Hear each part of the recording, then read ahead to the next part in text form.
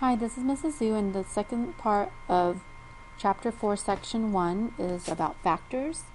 And a factor is a number that divides evenly into a given number without a remainder, so no decimals or no extra fractions. So for the factors of 12, we're going to use a method um, called the T chart or the factor tower. So when we look at the number 12, if you see these pictures of the rectangles or the squares, then those are factors that can be divided evenly into 12. Now when we make the factor tower or the T-chart, um, we're always going to start with the number 1. 1 will always be a factor for 12, and 1 would pair up with 12. So in the factor tower, you will see the first numbers as 1 and 12.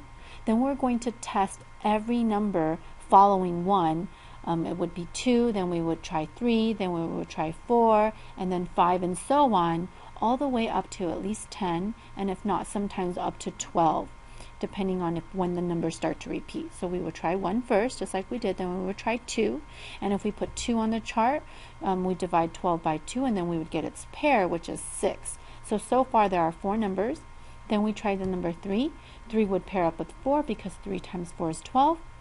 And then if we try 4, then we would start to repeat and get the number 3 that goes with it. And really that's the pair all by itself. So when we list our factors, our factors for 12 would be 1, 2, 3, 4, 6, and 12.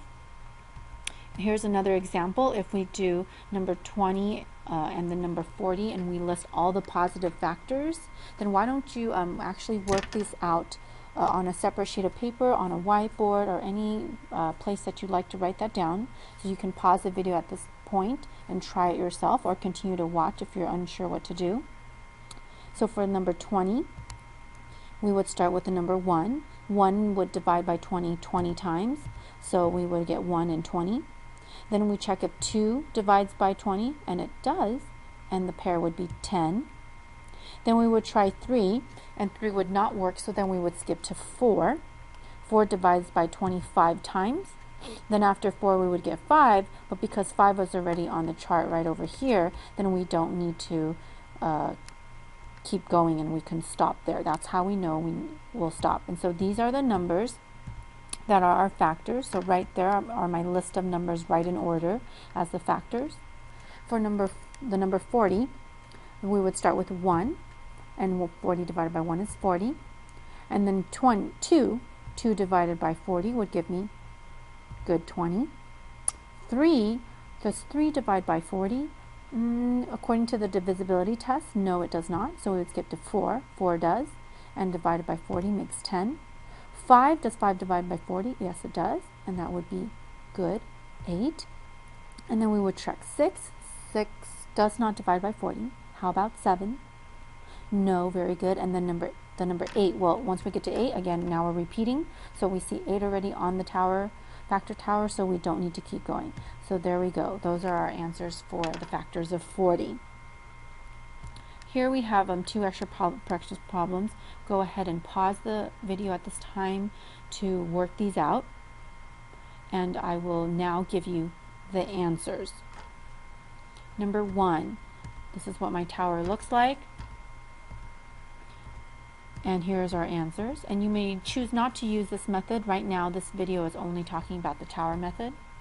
And for number two, we have these numbers as a, in our tower. You can see it's going to go for quite a long time. And these are our factors for the number 24. Great. Here are some more practice problems. And you may also see this PowerPoint viewed and, uh, without the presentation already posted on Edmodo. And for number 48, the answer is going to be and there's our answer. And for 60, here are our answers.